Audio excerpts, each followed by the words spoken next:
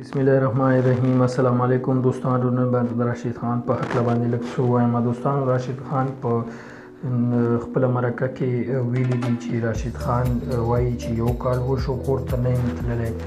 دوستانو دا مینه د افغانستان سره د راشد خان چې یو کال وشو هغه کور ته نه دی تللی او بیا هم د افغانستان سبزي کوي دوستانو تاند افغانستان ژغورې لوبغاړی راشد خان وایي د یو کال راهیسې کور ته نه دی تللی خو د ستونزو او بدامنۍ ښکار خپل وطندار ورته یاد یاد دی دوستان راشد خان چې دا وخت په هند کې د خپل ملي لوبډلې لخوا د بنگلاديش سره د سیالیو په سیریز کې بوخت بوخت وو او درې شل ورځې لوبې هم وګټلې نو هغوی وایي چې یو کال وشو کور ته نه یم تللی کورنۍ او دوستان راته ډیر یادیږي دا سخت درد راکوي چې بیرته په کور هیواد د چاودنو واورم تر دې چې زه په آی پی ایل کې وم زما په پلارنۍ سیمه کې چاودنه وشو زه ډیر خپه وم زما یو دوست پکې ژوند د لاسه ورکړی و دوستانو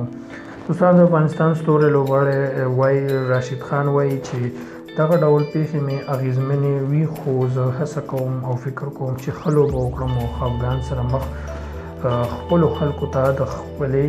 لوبې له لارې خوشحالي ورکړم. دوستان راشد خان په خپلو لاسته راوړنو د خوشحالي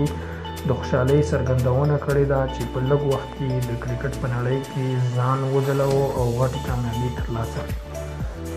دوستانو ښاغلی راشد خان چې په وروستیو کې د هند پریمیر لیګ آی پی ایل کې د سنرایز حیدرآباد لوبډلې لخوا لوبېدلی او هغه په غوره لوبه سنرایز په سیمه سیمي فاینل کې د کلکتې نایټ رایډرز لوبډلې ته ماته ورکړې وه راشد خان دوستانو دا وخت د کرکټ نړۍ کونسل د شلوریزو سیالیو د بالرانو په درجه بندۍ کې په اول نمبر دی په د دوستانو په آی پی ایل کې د غوري لو د آی پی ایل کې په غوره لو لوبي وروسته په سوشل میډیا داسې غوښتنې شوې چې راشد خان ته دې د هند تابعیت ورکړ شي خو افغان ولسمشر غني پر راشد خان ویاړ کړی او هغه ته یې له ملي پنګه ویلي وو چې هیچا له یې نه ورکوو ثانو راشد خان چې عمر یې له د شلو کالو نه دی، د کال دوه زره پنځلسم په اکتوبر کې نړیوال کرکټ پیل کړ او تر اوسه پورې یې په نړیواله کچه ستاینې روانې دي. نو دوستانو دا هغه د راشد خان ویناګانې وې، د درد ډکې ویناګانې چې تاسو سره موږ شریکې کړې، دعاګانې کوئ دوستانو چې